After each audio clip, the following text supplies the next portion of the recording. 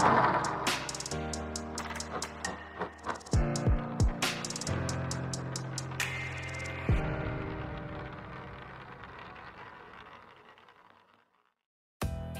À l'entreprise Derim est en train de discuter avec ses collègues pour faire quelques vérifications. Par la suite GG arrive pour lui apporter son café, mais Derim lui demande de quoi il rit depuis ce matin.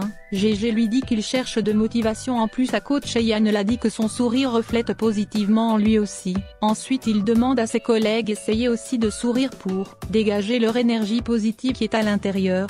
Médérine lui demande d'arrêter ses bêtises. Elle dit à Gégé qu'ils ont besoin des bonnes idées pour gérer les publicités, ensuite elle commence à écrire sur Gégé parce qu'elle n'a pas vu les documents qu'elle cherchait mais Gégé lui dit qu'il n'a rien fait parce qu'il a demandé au d'écrire qu'il pensait d'une publicité d'automobile. Mais, ils ont écrit l'histoire de leur vie, Derim lui dit qu'il est le responsable de toutes ces choses parce qu'elle pensait il va occuper probablement les mailles et les lettres, mais elle a fait une erreur en lui faisant confiance pour gérer ce travail. Gégé lui dit qu'il a fait tout son mieux pour gérer cette campagne avec toutes ses connaissances en marketing, mais Derim se met en colère, et elle demande à Gégé d'aller chercher le scénario au lieu de rester à parler. Ensuite Gégé s'en va mais il demande ce qu'il va faire maintenant parce qu'après le renvoi de Metine maintenant c'est son tour.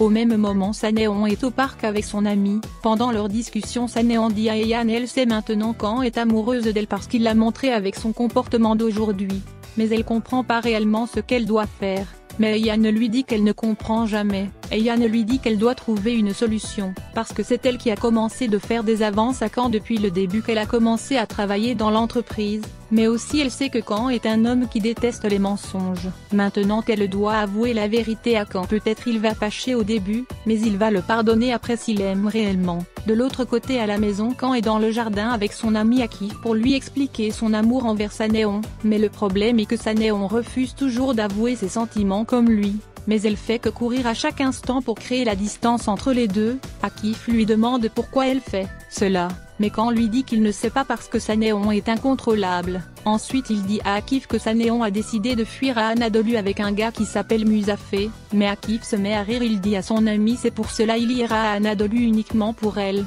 quand lui dit qu'il va installer là-bas définitivement, parce qu'il a tout fait pour expliquer ses sentiments à sa néon, mais elle ne comprend rien. Ensuite il dit à son ami qu'il va continuer toujours de poser ses actes pour montrer à Sanéon qu'il l'aime, jusqu'à qu'elle vienne à lui. Par la suite quand reçoit l'appel de Derim qui lui annonce ce qui se passe à l'entreprise, de l'autre côté Mir discute avec Aline et lui demande si elle a vu ce que Quand a fait Metin. Il a rompu la connexion avec un vieil ami en quelques minutes, donc s'il découvre ce qu'il a fait c'est fini pour les deux, parce qu'il ne va pas le pardonner une telle chose. Mais Eline lui demande de calmer un peu, en plus personne ne saura des rien parce qu'elle va tout faire pour empêcher à Sanéon d'avouer la vérité à Caen, mais à ce qui concerne Metin c'est Caen qui va perdre parce qu'il devient complément seul, mais Mir trouve ces mots un peu bizarres. Il demande à Eline pourquoi elle est si calme, ou bien elle a aimé leur séparation avec Metin, mais Eline lui dit leur but c'est de faire quitter Caen Istanbul, mais ça va être facile avec sa séparation de Metin, parce qu'il est actuellement sans défense. Ensuite elle dit à Mir de concentrer sur sa néon parce qu'ils doivent trouver une solution pour les séparer.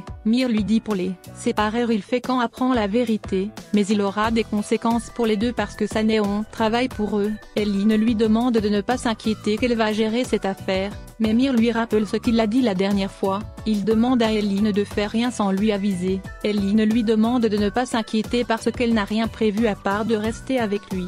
Ensuite les deux s'embrassent. Pendant ce temps Gégé est allé rencontrer Eyan pour lui demander son aide sur les lettres introuvables. Par la suite Eyan lui montre le mail que l'entreprise d'automobile a envoyé pour la campagne publicitaire. Ensuite Gégé demande à Sanéon et Léla d'écrire la lettre à sa place. Mais Eyan lui demande d'arrêter ses cris pour les laisser concentrer. De son côté, Léla veut regarder ce que Ousmane a écrit, mais Gégé lui demande de ne pas rédiger les textes des autres, parce que chacun doit écrire ses propres pensées. Ensuite il demande à Léla d'écrire tout ce qu'elle veut écrire. Pendant ce temps Asanéon a déjà fini son travail elle veut envoyer ce qu'elle a décrit, mais elle a remarqué l'adresse mail de Gégé et non celui de l'entreprise, mais Gégé fait semblant être surpris ensuite il vérifie dans son mail et il est très content de voir les messages. Par la suite il reçoit l'appel de Derim pendant leur discussion Gégé lui annonce qu'il a retrouvé toutes les lettres dans son mail. Derim lui dit d'accord et lui donne rendez-vous chez Caen pour la réunion. Après son appel avec Derim, Gégé demande à Sanéon de venir pour aller chez Caen,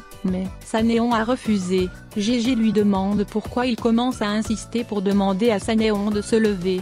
Après quelques minutes ils arrivent chez Caen pour la réunion. Goulis discute avec Sanéon en lui disant qu'elle avait aujourd'hui des échantillons d'acteurs annulés, elle voulait même appeler Ousmane. Elle demande à Sanéon si elle est sûre qu'Ousmane va accepter. Sanéon lui dit oui qu'elle est sûre à 100%. Ensuite ils s'en vont tous dans le jardin, mais Sanéon a refusé d'entrer elle reste devant la porte. Par la suite elle s'en va à l'intérieur. Au même moment Mekib et son mari ont réuni leurs voisins pour les montrer la publicité de Ousmane. Mais Musafé les demande de faire vite pour allumer la télévision parce qu'il a laissé son magasin ouvert.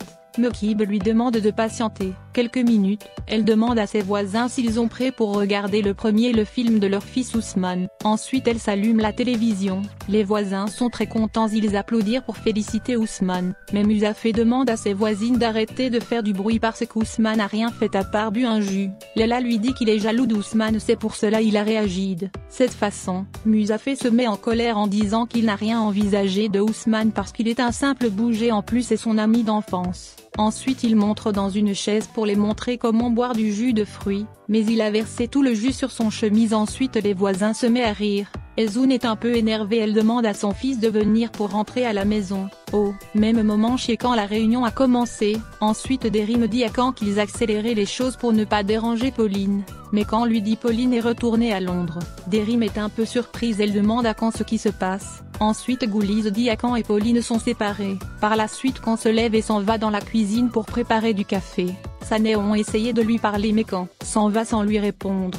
Ensuite Derim demande à Sanéon de ne pas sentir offensé quand est juste tendu à cause de la séparation. Pendant ce temps Mekib discute avec Ousmane en lui disant qu'il est devenu un star. Ousmane lui dit qu'il se sent mal à l'aise d'entendre ce genre de choses, parce qu'il est un boucher ordinaire. Mekib lui demande d'arrêter parce qu'il a maintenant des fans. Ensuite, elle demande à une des filles qui voulait faire une photo avec Ousmane de venir. Pendant ce temps Sanéon rejoindre Khan dans la cuisine. Khan lui demande si elle a quelque chose à dire. Sanéon lui dit non ensuite Khan prend son café et s'en va. Après son départ Gégé fait son arrivée il demande à Sanéon ce qu'elle fait là. Sanéon lui dit qu'elle est amoureuse de Khan en plus c'est l'albatros qu'elle cherchait depuis le jour de l'anniversaire de l'entreprise, mais Gégé reste silencieux par la suite il s'en va plonger dans la piscine. Khan est un peu surpris ensuite il décide de mettre la fin à la réunion.